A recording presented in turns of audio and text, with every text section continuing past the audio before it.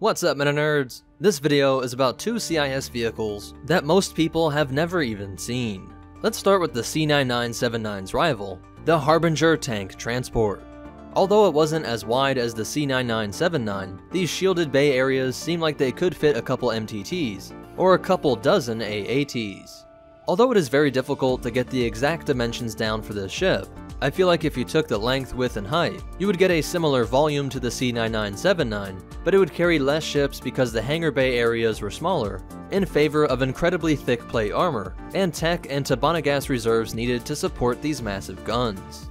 With 8 twin heavy laser cannons, 4 on the front and 4 on the rear, this ship packed more firepower than a lot of warships.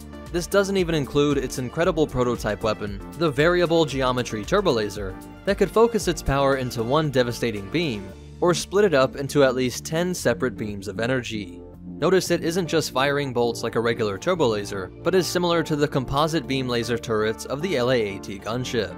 This combination of armament, armor, and large vehicle payload explains why Harbinger is a perfect name for this ship.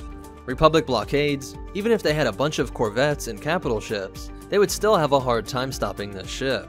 Because it had heavy laser cannons on the front and the rear, it could still fire on any ship that was trying to follow it, breaking off from the blockade, and pursuing them planetside, while using those variable geometry beams to easily blow apart squadrons of starfighters.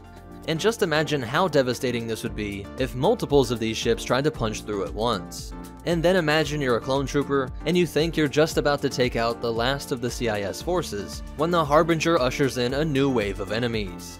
The only problem was that although it was intended to deliver tanks and other vehicles to the battlefront, if confronted by expert tank commanders, they would target that prototype weapon located right underneath the bridge, and if it could be critically damaged, a chain reaction would blow this vehicle apart. Now the second vehicle I wanted to talk about was the Armored Scout platform. Some people mentioned this way back when I did the STAP, and honestly I had never heard of it. The ASP is based off the STAP of course, but keeps the B-1 pilot protected by having a completely enclosed armored capsule and viewing window made of transparent steel. The steering fins are longer, and the engines are moved up from knee height to behind the pilot at shoulder height. The laser cannons may have also been upgraded, but we can't be sure.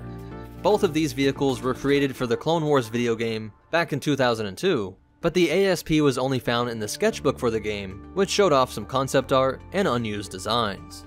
I know I wish we could have seen more of these vehicles in action, and I think they fill a role that is needed in the CIS, a tank deployment ship that can get reinforcements through the heaviest of fire, or break right through blockades, while having a vehicle that's as fast as the STAP, while having the pilot protected by armor, means that you can confidently send them out scouting without fear of being taken out by a single sniper bolt, and they can provide way more assistance if used as quick flanking vehicles in a battle.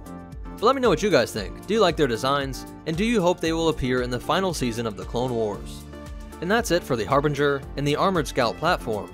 If you want to connect with us, help support this channel, or get your own copies of the reference material used in this video, be sure to check out the links in the description.